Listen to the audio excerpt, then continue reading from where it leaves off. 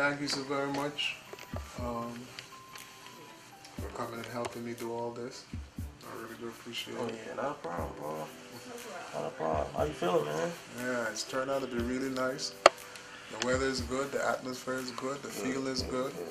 Everyone is here working together. I think we're gonna have a magnificent wedding today Yeah, to my wonderful bride, Kayla Risker. good, good, good. Happy for you.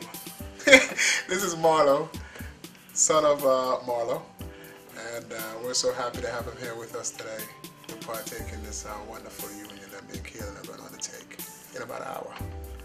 We appreciate it. The things that really make Kalyn happy is to enjoy her day. She enjoy life. She enjoy living, and um, I'm gonna do my best to make sure that um, I keep her as alive and as happy as possible.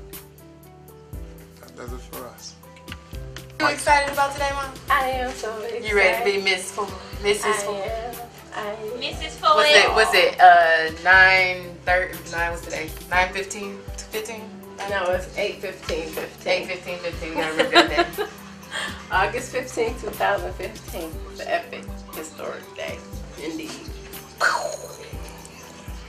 Tony, Tony. What you got to say, beautiful? Why you getting work done? Tony.